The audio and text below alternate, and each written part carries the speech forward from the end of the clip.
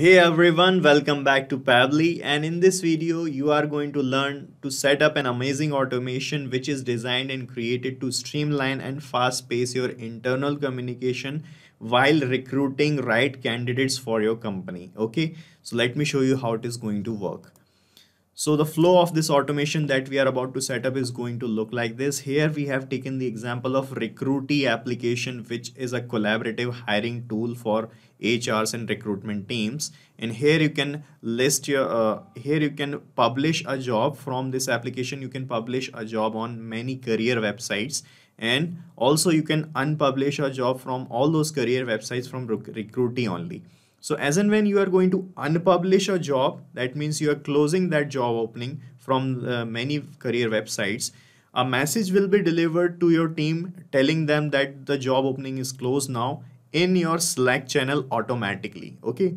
So many companies uses Slack as an internal communication channel. So as and when you are going to unpublish a job, a message will be delivered to your team automatically. And to make this happen, we are using Pabbly Connect which is an integration and automation tool. So this automation is going to uh, save a lot of your manual efforts and time as well, uh, which you have to spend on uh, manually typing the messages for your team for anything that you are doing on Recruitee application. Okay. And guys, the best part of setting up this automation is that you will not require any kind of coding skills or programming knowledge. So anyone can set up this automation very easily. So now let's set up this automation together. So the first step to set up this automation is to log in into your Pabbly Connect account. So guys, for this you can check the link that we have pasted in the description for you from where you can set up your free Pabbly Connect account in just two minutes and it will provide you 100 free automation tasks for every new month. Okay. So after setting up your free account, you can log in and reach the dashboard of Pabbly Connect here like this. Okay. And on this page, guys, you have to start working by creating a workflow of automation. So to create a workflow, you just have to click here on this create workflow button. And here you can give any suitable name to your workflow. So let me fill the name here. So here I have given the name to this workflow as on unpublishing a job on Recruitee, send message on Slack automatically. Okay, now you can click here on this create button and you can see your workflow getting created here like this okay and on this page guys you will find these two things the trigger and the action. So this automation is going to work on these two things. So the trigger is the happening of that event which is going to trigger this workflow okay or trigger this automation. And the action is the response towards that trigger okay? So as in our use case the trigger would be unpublishing a job on recruitee and the action towards that trigger would be to send a message on slack to your team that this job is unpublished and closed okay? So first of all uh, you have to set up this trigger. So from this trigger section choose your trigger application first from this choose app field. So you can type here recruitee okay? This is it and select it. This is our trigger application and our trigger event is unpublishing a job. So here you have to select this one this option job is unpublished so this will trigger this workflow when a job is unpublished or archived. Okay. And it will give you this uh, URL. This is called as a webhook URL guys. And it is used to fetch the data out from any external application to here in Pabbly Connect. So with the help of this, we are going to connect Recruitee. So here you can follow these instructions written here to make this connection. Let me show you how you can do this. So first of all, you have to copy this webhook URL from here like this then reach the dashboard of Recruitee. This is my Recruitee's dashboard. And here I'm going to uh, click on this settings icon on this bottom left hand side. Okay. And under this panel, when you scroll down uh, here, you will find this apps and plugins option. And under this apps and plugins, you will find this webhooks tab. Click on webhooks. Okay. And here you have to click on this add, uh, sorry, new webhook button. Click on new webhook and here you can give uh, any name to this webhook setup. So i'm giving the name as to select team. So you can give any relevant name. And here in this post uh, url you have to paste the webhook url that you got here in Pabbly Connect. So just copy this and paste this url here in this post url field like this. Okay. And then you have to select uh, to, then you have to check this box you can see here job unpublished okay? So check this box then click on verify and create. Okay so we are done setting up this webhook. Now as and when you unpublish a job here in recruitee the data of that unpublished job will be delivered here in this response received section in Pabbly Connect where you where you are uh, you can see here this test label okay? Let me show you. Just click here on this recapture webhook response. Click on yes and it will start showing this waiting for the webhook's response so this means now you have to do a test submission so our test submission would be unpublishing a job from Recruitee. And as and when you will unpublish, the date of that unpublished job will be here in Pabbly Connect. Let me show you. So I'm going back uh, in my Recruitee's job section. So these are the jobs you can see we have listed on a various career website. First one is HR executive. Another one is related to digital marketing. Okay. So let me unpublish this one. So I'm clicking on uh, close for new candidates option. So I'm closing this job. Okay, confirm. And you can see this job is closed for new candidates now. Okay. Now let me show you in Pabbly Connect if we got the data of uh, this job. And here you can see the data of that job got getting unpublished here like this. Okay. So you can see here the department's name, the job title. Okay. So this is how we can capture the data. Now I want to inform my team which is present here on Slack channel that one of our job which was previously published on very, uh, various career websites is now closed. Okay. And to do that, you have to connect your Slack channel here in this action step. So from here, from this uh, choose app field in the actions tab, you have to search for Slack. This is Slack. Okay. And in that trigger event you have to select send channel message option. Okay.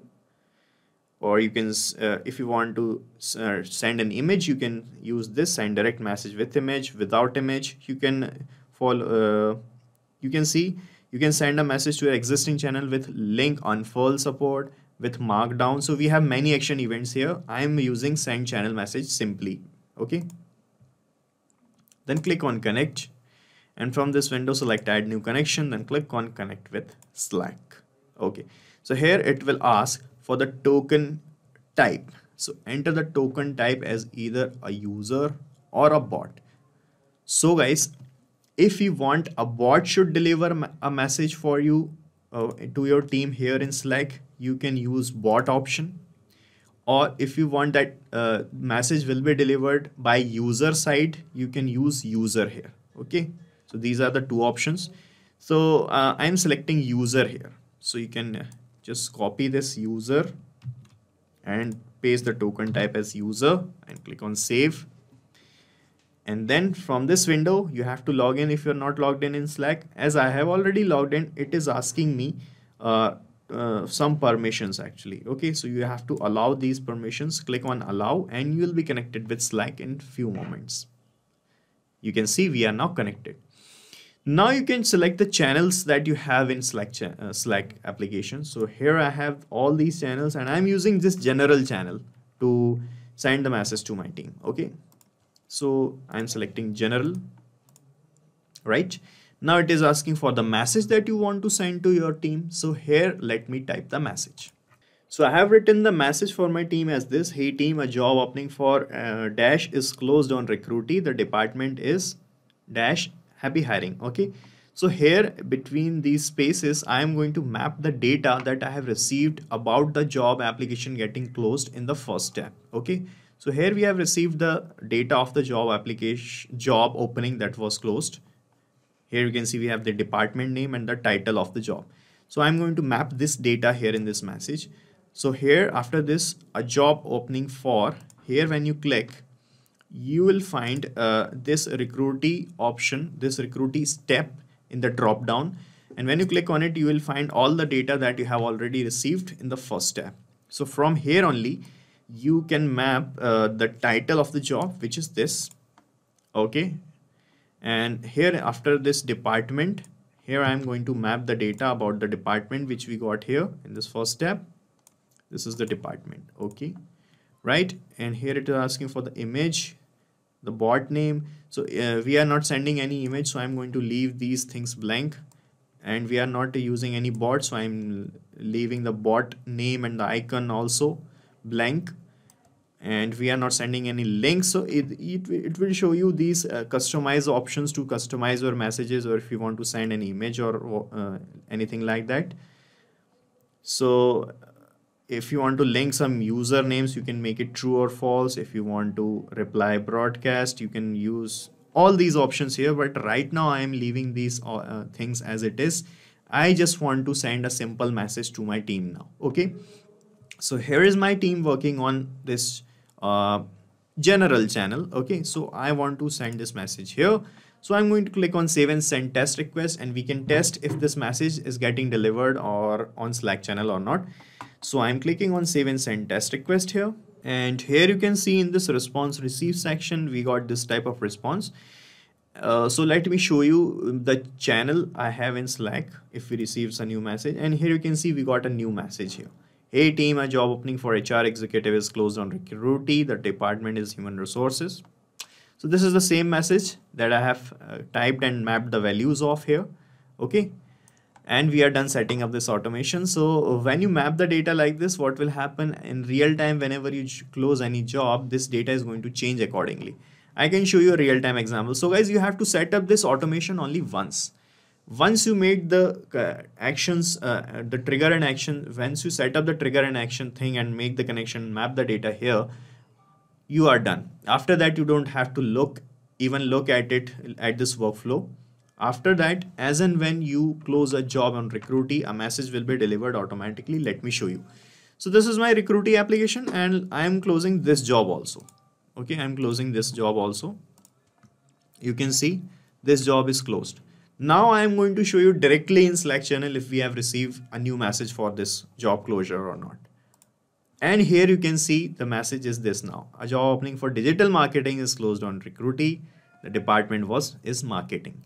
So this data is changed. You can see uh, firstly in the message was HR executive. Now it is digital marketing and the department is also changed. So this is how it is going to work in real time guys. And we are done setting up the automation let me give you a quick recap what I've done here.